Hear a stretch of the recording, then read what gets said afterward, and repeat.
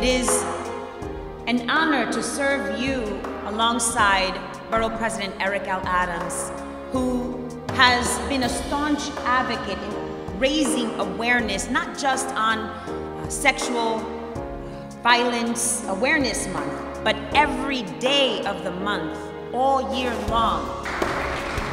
Thank you so much for having us. We are really, we feel so blessed to be here and we want to thank the Denim Day NYC committee. We want to thank all of the organizations that are here, uh, taking this walk, making a stand, letting it be known my body, my jeans, my choice is the only way to go. 25 years ago in August, we lost uh, my mom, my sister, my two kids, and my brother's two kids. Crime Victim Survivors wants to uh, partner with uh, other organizations so that we can get um, awareness out about violence in general.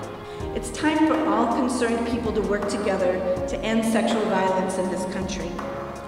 It's time to educate our boys to respect women and to teach our girls how to stand up for themselves.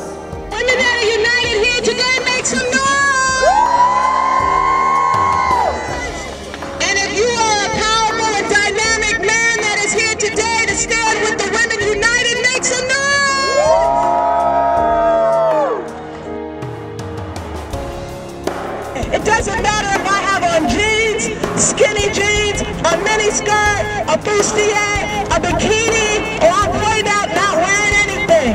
It is not an invitation for rape. It is not an invitation for sexual assault. We need to continue to educate about consent instead of the sole focus being that we have to learn to defend ourselves. Everyone deserves a world where we can walk home in the dark and not be afraid to be raped. I still want to believe in our justice system. I decided to press charges against my rapist, and because of insufficient evidence, he was never charged after the investigation, and I was left feeling alone and angry. Angry that I would never get justice, and I was angry because he got away with it. But when he decides to make a move on another girl that is so atrocious, I will have her back because I spoke out.